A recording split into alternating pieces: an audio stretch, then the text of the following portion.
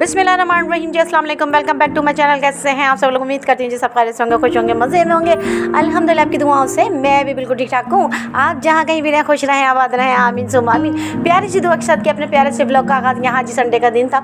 कपड़े वॉश किए थे, बारिश आ रही हो या नहीं आ रही हो, कपड़े तो मैं रेगुलर वॉश करती हूँ। कुछ भी हो, चाहे रूम में मुझे सुखाने पड़े, लेकिन मुझे कपड़े रेगुलर वॉश करने होते हैं। मैंने आपके साथ ये बात शेयर की हुई है कि हस्बैंड को दो तीन सूट ही अच्छे लगते हैं, बाकी सारे कपड़े इन्होंने गर्मी गर्मी रिजेक्ट किए हैं। तो जब तक सर्दियाँ नहीं आएँगी, ये तीन चार सूट ही हैं जो कि वो पहनते हैं, बल्कि दो ही ज़्यादा बेहतर है। बाकी तो सारे, बाकी के आज दौरानी ने भी धोए थे कपड़े, लेकिन थोड़ी थोड़ी रोशनी है, लेकिन धूप आ रही है, जा रही है, लेकिन बादल ऐसे ही हैं, जिससे बारिश का इम्कान है, क्योंकि बारिश तो आजकल हो ही रही है। बहरहाल यहाँ पर मैं आई हूँ अपनी दौरानी के रूम में, और यहाँ जी, उनकी आई हैं बड़ी बहन और भांजी। यहाँ जी, ये हैं उनके भांजे, यानी मरियम फातिमा के कज़न, और मरियम फातिमा की आनी आई हुई हैं, और उनकी कज़न है। ठीक है ना? यहाँ जी, तैयारी हो रही है जी, खाने खाने जाने की तो यहाँ जी हमने सोचा अपने थोड़ी सी वीडियो यहाँ की शूट कर लीजिए यहाँ जी गली में मैं चेक कर रही थी। आपको हर बार यहाँ की वीडियो ज़रूर दिखाती हूँ मैं, क्योंकि ग्राउंड में बड़ी जी रौनक सी लगी रहती है। माशाल्लाह, जब बारिश होती है तब भी और वैसे भी। और सर्दियों में तो ये ये यहाँ का ग्राउंड जी ऐसा हो जाता है बिल्कुल सुनसान छः बजे ही। बाकी ये हमारी गली शली में जी ऐसी रौनक लगी रहती है। माशाल्लाह माशाल्लाह।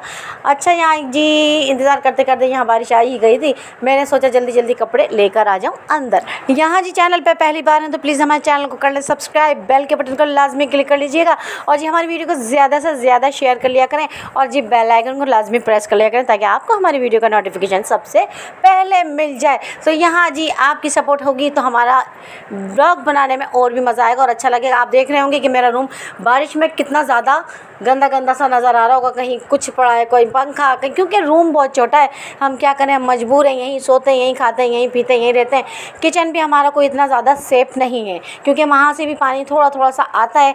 बहरहाल ये कि बारिश होती है ना तो टाइम से हम अपना खाना बनाकर अंदर ले आते हैं। फुट आपने देखा होगा मन मेरा अंदर होता है और सालन भी मेरा अंदर ही होता है और खाना खाने के बाद फ़ौरन बस मैं फ्रिज में रख देती हूँ। तो यहाँ जी हमारा घर तो काफ़ी बड़ा, लेकिन हमें रूम बहुत छोटे छोटे जी मिले हुए हैं।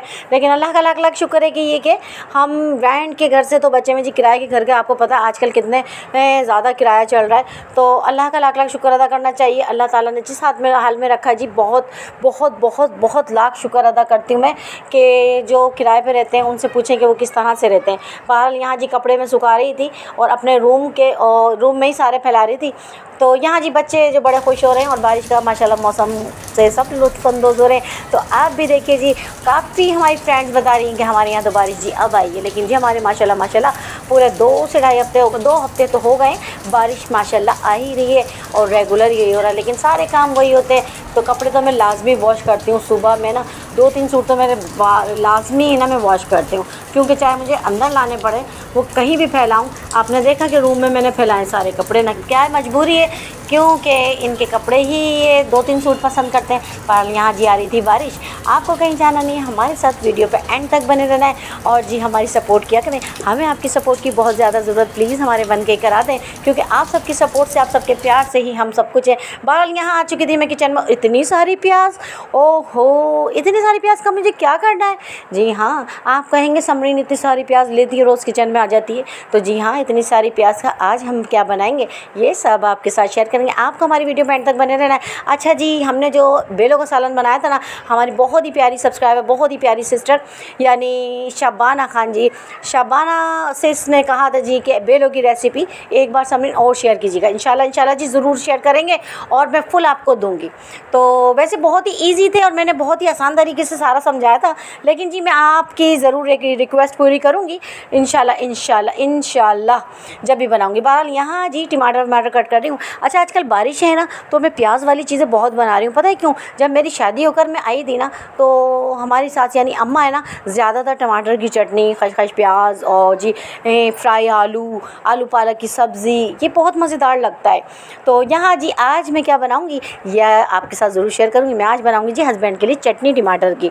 तो समझ ही नहीं आ रहा था क्या, बस घर में जो रखा होता है ना, वही सोचती हूँ कि मैं बना लूँ बना लूँ, बस क्योंकि आज टमाटर भी रखे हुए थे, प्याज भी थी, सभी कुछ घर में रखा हुआ था तो मेरे लिए थोड़ा सा बनाना आसान हो जाता है। बाज़ार में बहुत कम जा रही हूँ, बहरहाल गोश्त वगैरह होता है तो वो लाना होता है, बाकी सब्ज़ी वगैरह तो घर में होती है कोशिश करती हूँ जो भी घर में रखा हो ना बस वही बना लो। क्योंकि हस्बैंड और मैं तो वैसे भी बहुत ही कम गोश्त वगैरह पे हैं क्योंकि हम लोग खा रहे हैं। जी आजकल कुछ वेजिटेबल दालें शालें तो यहाँ जी टमाटर की चटनी आज मैं बनाऊँगी। तो मैं आपके साथ ज़रूर शेयर करूँगी। वैसे भी काफ़ी बार बनाई हुई है। प्याज मैंने इतनी सारी पत, ज़्यादा पता है क्यों कट की है? मैंने और ज़्यादा कट की है। मेरी एक बहुत ही प्यारी सी स्कूल की फ्रेंड्स आ गई अचानक से और वो कह रही कि जी मैं भी खाऊँगी। तो मैंने कहा चलें जी आप भी खा लीजिएगा। तो यहाँ जी वो बैठी हुई हैं। अभी मैंने उनको चाय शाय दे के अपनी दौरानी के रूम में बिठाया है। मेरी भी फ्रेंड्स आई हुई हैं और जी दौरानी की बहन भी आई हुई हैं। और यहाँ जी उनको भी बिठाया हुआ है अंदर और चाय देकर आई हूँ। मैंने सोचा, चलो चटनी बना लेते वो खाना कह रही हैं तो खा कर जाएँगी, फिर मैं उनको रोटी भी बना के दूँगी। तो यहाँ जी यहाँ टमाटर में हम ले रहे हैं हल्दी पाउडर और दरा मिर्च में बिल्कुल लाइट सी लूँगी क्योंकि हरी मिर्च ले ली मैंने। ठीक है ना? अच्छा जी, टमाटर की चटनी जब बनती है ना मेरे हस्बैंड यकीन जानिए यकीन जानिए कि मटन बीफ कढ़ाई चिकन कढ़ाई सब पहले इसने।